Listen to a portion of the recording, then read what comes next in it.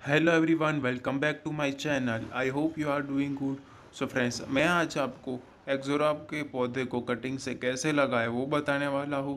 तो चलिए फ्रेंड्स शुरू करते हैं।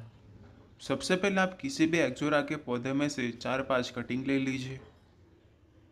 कटिंग तैयार करने के लिए मैं इसके नोड एरिया के नीचे 45 डिग्री एंगल का कट लगा देता हूँ।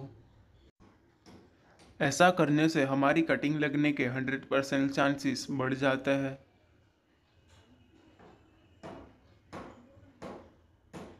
फ्रेंड्स मैंने यहाँ पे सारी कटिंग तैयार कर ली है।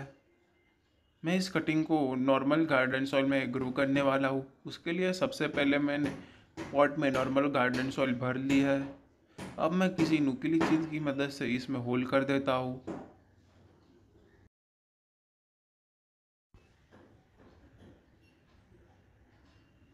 अब मैं बारी बारी से सारी कटिंग लगा देता हूँ। अगर आप मेरी चैनल पे पहली बार आए हो तो मेरी वीडियो को लाइक करें शेयर करें और मेरी चैनल को सब्सक्राइब करें। फ्रेंड्स मैंने यहाँ पे सारी कटिंग लगा दी है। अब मैं इसमें पानी दे देता हूँ, जिससे कि कटिंग मिट्टी में ठीक तरीके से बैठ जाए। अब कुछ ही दिनों में हमारी कटिंग तैयार हो जाएगी।